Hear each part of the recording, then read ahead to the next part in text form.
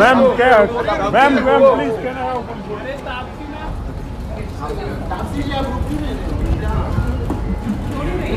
Tapti ji रुकिए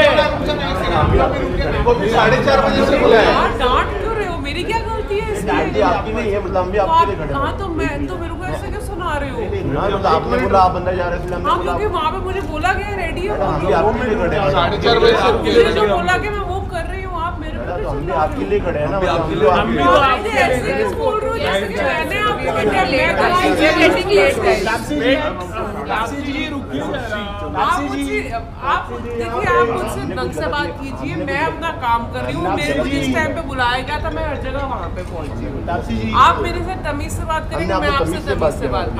आपने नहीं किया। कैमरा मेरे पे है ना? तो मेरी साइड दिख रही है। एक बार ये कैमरा आप पे होता ना आपको पता चलता है आप किस तरीके से बात कर रहे नहीं नहीं जी हमने आपसे कोई गलत बात नहीं। की हमने आपने गलत बात नहीं की मैं उनकी बात कर रही नहीं वो भी अच्छे से बात हम भी तो आपकी वेट कर रहे हैं हम भी तो आपकी वेट कर रहे हैं। हमने क्या कहा? हमने क्या कहा? रुक जाओ हम है।